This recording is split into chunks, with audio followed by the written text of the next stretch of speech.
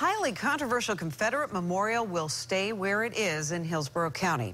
The county commission voted today to keep that monument despite a call from many who find it offensive. News Channel 8's Jeff Patterson joins us live outside of the Hillsborough County Courthouse Annex.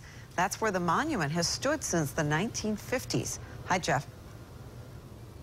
Yeah, good evening, Stacy. This monument was first put up in Tampa in 1911 and moved to this location in the 1950s when they tore down the old, old courthouse. Some people call this a memorial to veterans. Others find it simply offensive.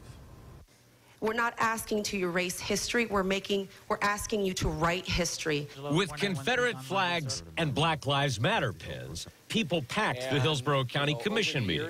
On both sides, it's an emotional issue, as some called for the memorial to stay.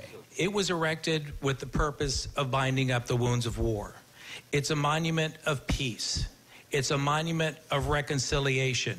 Others told commissioners they find the memorial offensive every time they have to walk into the courthouse. It should be moved. It is in the wrong place.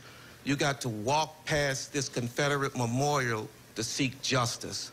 That is absolutely unequivocally wrong. Commissioner Les Miller, the great grandson of a slave who grew up in a segregated Tampa, told fellow commissioners he's always found the memorial offensive. It's time to take that monument down.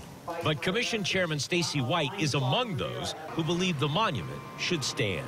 This monument is indeed a piece of our history. It also has intrinsic artistic value. In the end, Commissioner White, along with Victor Crist, Sandy Murman, and Ken Hagan, voted to keep the Confederate memorial. Commissioners Les Miller, Al Higginbotham, and Pat Kemp voted to take it down. Commissioners White and Miller shook hands at the end but Miller was clearly disappointed. Um, it stays. It, it uh, will continue to be divisive in this community. I can tell you that right now. Yeah, Commissioner Victor Crist did manage to get a compromise of sorts passed at the end of the day. He's uh, suggested that they have a 10 foot high, 75 foot long mural behind this monument that more uh, completely tells the story of the civil rights struggle. That memorial will be uh, commission at a later time. But some people told me today that's not enough. They want this taken down. However, after today's vote, that will not happen.